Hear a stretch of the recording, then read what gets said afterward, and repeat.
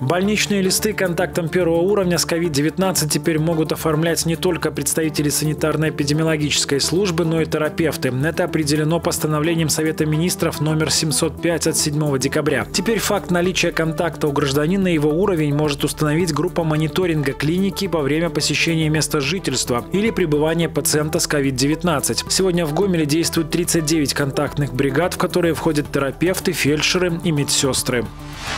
Ежедневно в Гомеле проводятся рейды для предотвращения несчастных случаев на водоемах. Представители ОСВОД говорят, что около половины людей, выходящих на лед, теперь носят спасательную одежду. Остальные все еще надеются на удачу и порой даже не знают, как себя вести в воде. Только за последнюю неделю в Беларуси утонули 9 человек, один из них несовершеннолетний. Скоро начнутся школьные каникулы, поэтому в это время у гомельских водоемов постоянно будут дежурить взрослые.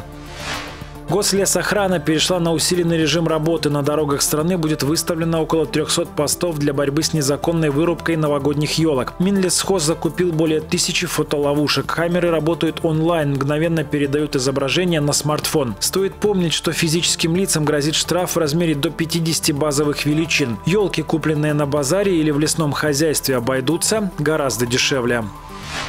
Мобильное приложение для изучения белорусского языка, системы умного дома и биоразлагаемая посуда. В ГГТУ имени Сухого прошел региональный этап молодежного проекта «100 идей для Беларуси». Молодые новаторы и изобретатели представили более 20 разработок и идей. Члены жюри отмечают, что качество проектов, представляемых на 100 идей для Беларуси, с каждым годом растет. Молодые люди хорошо видят перспективные направления в будущем и готовы решать общие проблемы в настоящем. Лучшие проекты регионального этапа «100 идей для Беларуси» отправятся на республиканский конкурс.